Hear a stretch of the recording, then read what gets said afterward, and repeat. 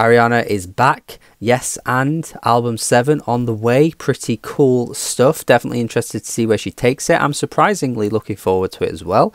Not to hate on her, but I've never been the biggest fan of her albums. I like a lot of her singles for sure, but in terms of albums, I do think people have overplayed how good those albums are. I've never really found any of them to be that strong, even though they tend to make year end lists and things. Sweetener, Thank You Next being the two obvious ones that seem to get a lot of buzz. I personally didn't get the hype for those at all, really, uh, but the singles from them and tr- individual tracks from those albums were very, very good.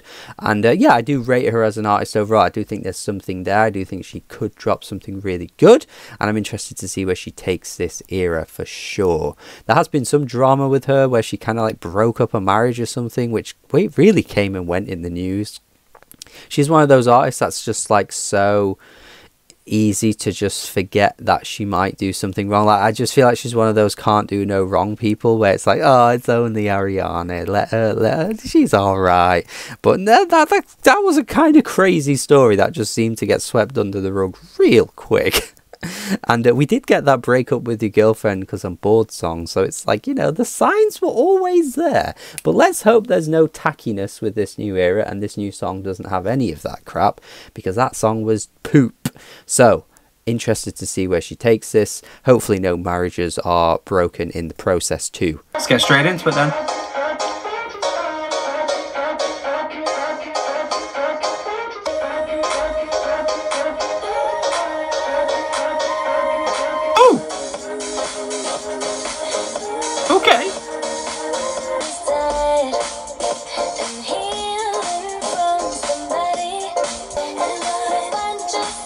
Wasn't expecting this.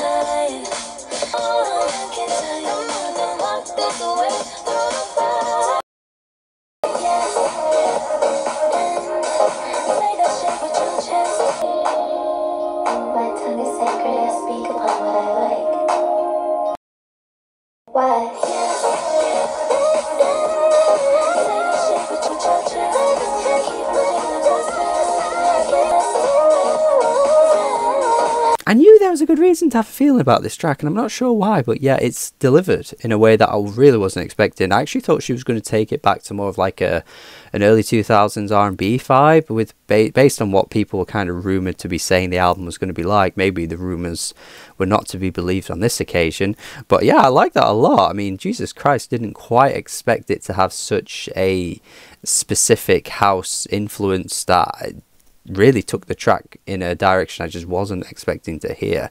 I do wonder if the latest Beyonce album has just kind of ended up reigniting this sound a little bit more in an artist like Ariana, where she kind of just is felt so energized by that album that she wanted to do a similar thing. I wouldn't say it's exactly the same. I'm not saying it's a total, you know, copy and paste of that album. That's not what I'm saying at all. But just the fact that the track has just way more of a pulse, way more of an energy that we haven't really heard Ariana like ever do unless she's been on like a remix or a feature somewhere perhaps. But what's really funny about this track is that like 10 years 11 years ago now actually Frankie Knuckles did one of the best boiler room sets ever. Like it is incredible. If you've never heard that Frankie Knuckles Boiler Room, go listen to it now. Do it right now. I don't even care if you click off this video. He does amazing remixes of some of the most vibrant and energetic house music you will ever hear. And one of the tracks that he remixes on that live DJ set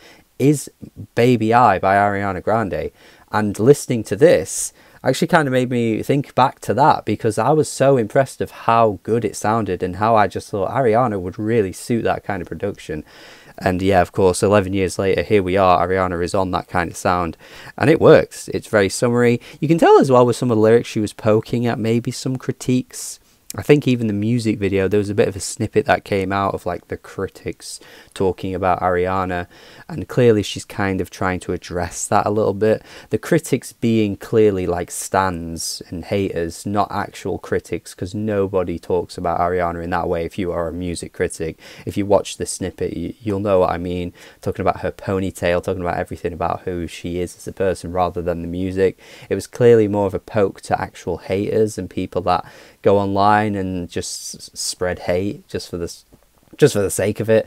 And I feel like she's maybe addressing that a little bit in this track, but even still, I thought it was really good. Really cool to see her go for a totally different sound. I liked it. So let me know your thoughts in the comments. Was surprised by this, pleasantly surprised. Uh, do subscribe. Do have a good day, and goodbye.